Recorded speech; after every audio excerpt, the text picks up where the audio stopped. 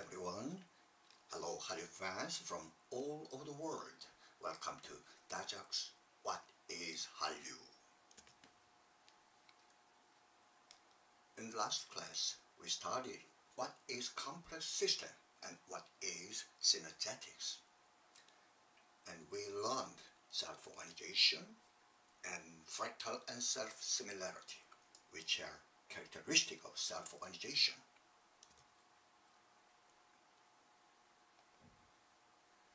On this, today I'd like to talk about what Hallyu is in synergetics.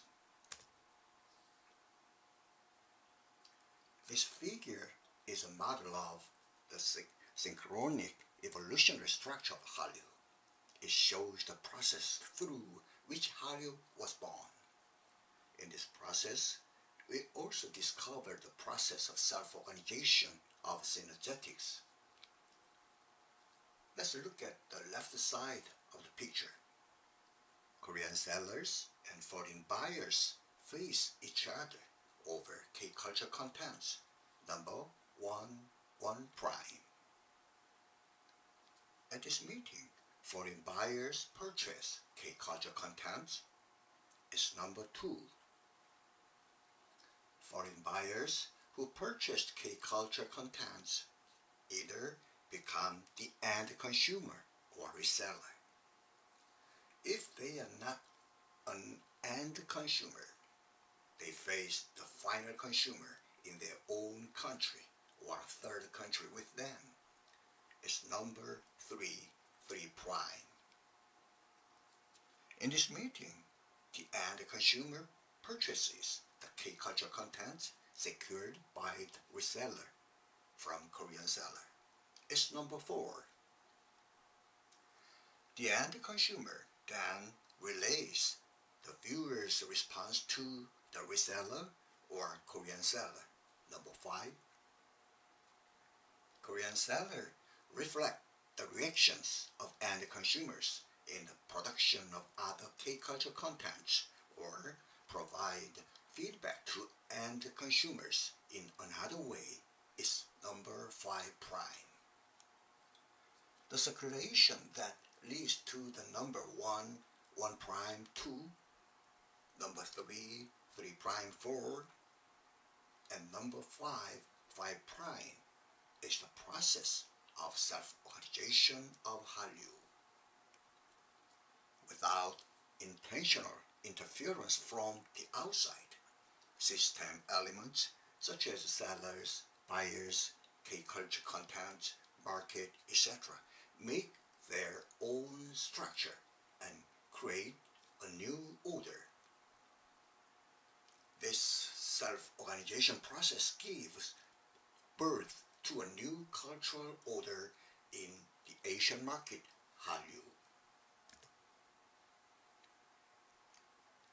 In this model of this, uh, the synchronic evolutionary structure of Hallyu, we find the fractal structure and self-similarity, which are characteristics of the self-organization process. In other words, the patterns of the upper left small scale A, number 1, 1 prime 2, and the lower right small scale B, number 3, 3 prime 4, resemble each other. It has self-similarity we call this similar structure a fractal. This picture is the diachronic evolutionary stage of the self-organization process of synergetics and Hallyu. Synergetics' self-organization process goes through a diachronic evolutionary stage called chaos, critical point, emergent behavior. Chaos is a state of confusion where you don't know what it is. And evolutionary biology calls it primeval soup. In other words, hundreds of millions of years ago, the universe was made up of organic molecules. And it, it is not known, what these molecules will evolve into. In the diachronic evolutionary stage of Hallyu's self-organization process, I call the stage of case chaos, chaos in the conceptual prehistory of Hallyu. K-culture contents are clearly wriggling in the Asian market, but this movement cannot be defined. This is the conceptual prehistory era of Hallyu. In this state of chaos, Korean band Clone, Diva, HOT, SES's performance in Taiwan and Clone's performance in Beijing play a role as a critical point that brought about the emergent behavior of the linguistic symbol Hallyu. In other words, if K-drama's popularity in the Asian market was a full cup, K-pop was the last drop that made, made the cup overflow. On November 7th, 1998, Taiwan's Yonhap Manbo ran an article titled, Listen, the Hallyu has arrived with four teams, Clone, Diva, HOT, and SES. They will gather in Taiwan to sing this month.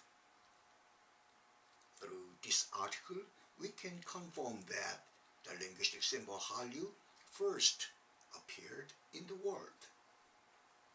In other words, K-pop concerts of Clone Diva HOT SES became a critical point and brought about an emergent behavior, the emergence of linguistic symbol Hallyu.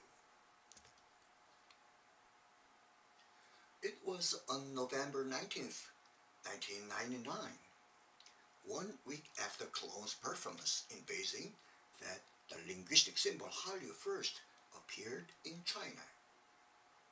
Beijing Youth Report used the linguistic symbol Hallyu for the first time in an article titled There are times that the east wind against the west wind also rises from the east. At the time, Hallyu was a symbol of Asian cultural pride, especially for the Chinese, lost to the West in the Opium Wars. Now then, the emergent behavior of the linguistic symbol Hallyu, what does this mean? Look forward to next Thursday, episode 1 to 3, Hallyu in Haken's Synergetics. Thank you. Have a wonderful weekend. Stay tuned for the next time. Bye bye.